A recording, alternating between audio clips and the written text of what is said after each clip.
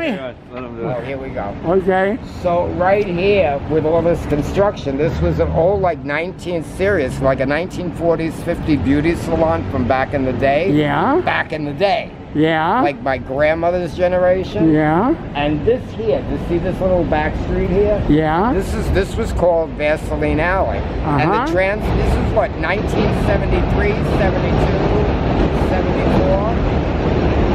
And everybody Wait for the, the sound to go. Just shout real loud. it was basically like gay men like came here to meet each other after the bars. Yeah. There was transsexual prostitution, there was male prostitution, female prostitution, but it was kind of low key.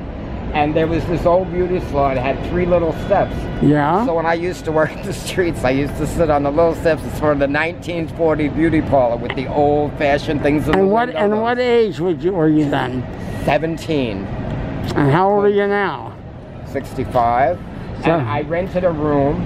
Yeah. It. I, I wish if I could, I would live in that room again.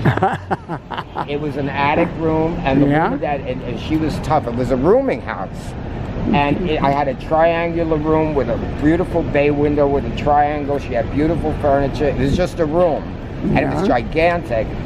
And she worked her entire life. She was a little eccentric, but she worked on cruise ships her entire life. Mm-hmm. And she told me stories about all the experience she had going from one country to the other. She that was her career. Sure. She was good looking. She showed me what she looked, and she was older than like. And she was a 70. she was a prostitute also. No, no, no. That's the Oh, woman I oh. rented the room from. Oh. Of course, uh-huh. my mother knew her. You know, I was only 16 and I, Yeah. Left home and stuff.